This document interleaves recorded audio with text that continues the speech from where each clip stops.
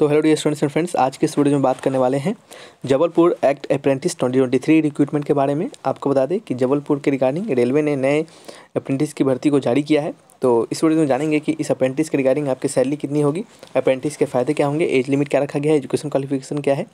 बिल्कुल merit based यहाँ पे होने वाला है सिलेक्शन कोई एग्जामिनेशन नहीं होगा।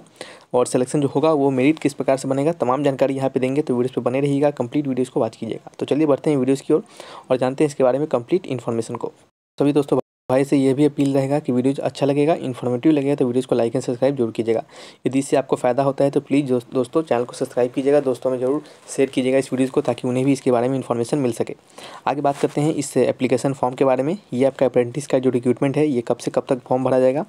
ये आपका पंद्रह बारह दो से लेकर चौदह एक दो के बीच में इस फॉर्म को भरा जाएगा, और इसके बीच आपको अपने फॉर्म को भर लेना है। आगे बात करते हैं यहाँ पर जो सिलेक्शन है यानी जो आपका अलग अलग डिवीज़न है यूनिट है, वो क्या क्या है तो देख सकते हैं JPB division Kolkata Kota division W R S Kota ये सभी डिवीज़न है और उसके रिगार्डिंग यहाँ पे कैटेगरी वाइज वैकेंसी को यहाँ से खुद से भी आप चेक कर सकते हैं।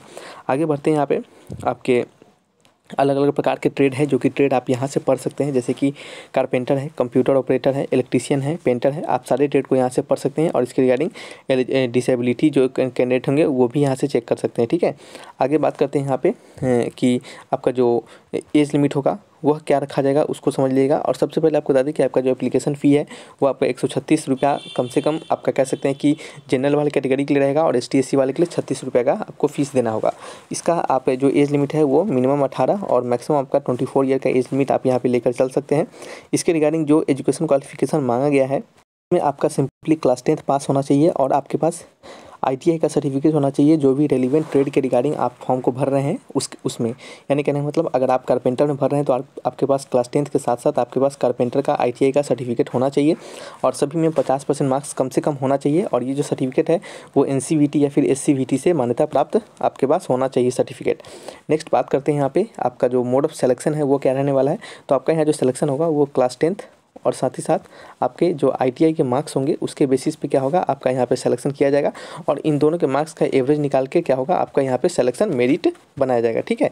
और इस मेरिट के अनुसार आपका क्या होगा? यहाँ पे एक बड़ा सा मेरिट लिस्ट तैयार किया जाएगा और उस मेरिट में यदि आपका नाम आ जाता है तो आप समझिए आप वहाँ पर सेलेक्ट हो जाते हैं।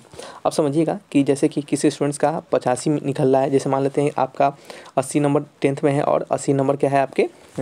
आईटीआई में है।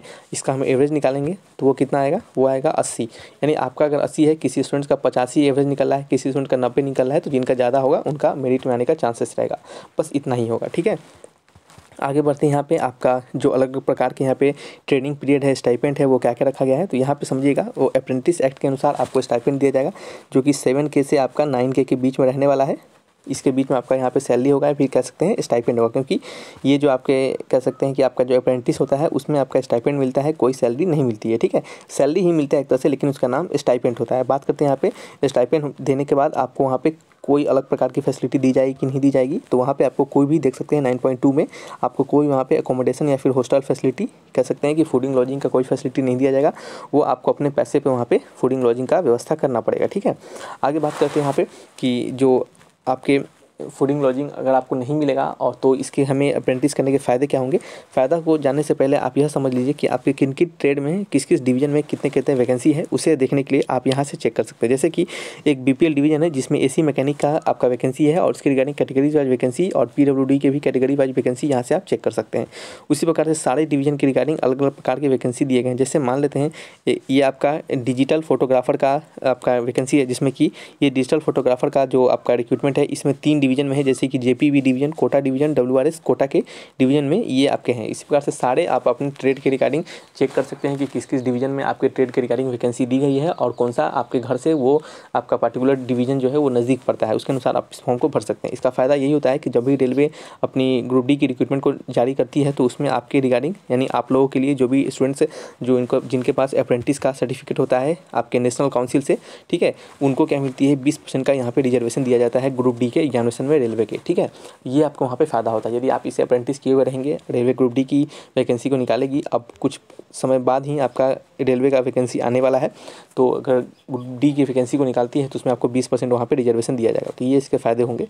और सभी तमाम जानकारी जो कि हमने अब आपको बताना था, वो हमने यहाँ पे दे दिया है। और यदि कोई डाउट होगा तो आप हमसे कमेंट बॉक्स में लिखकर यहाँ से पूछ सकते हैं, ठीक है? तो चलिए, रखते हैं इस वीडियो को यहीं पे। मिलेंगे नेक्स्ट वीडियो में। Thanks for watching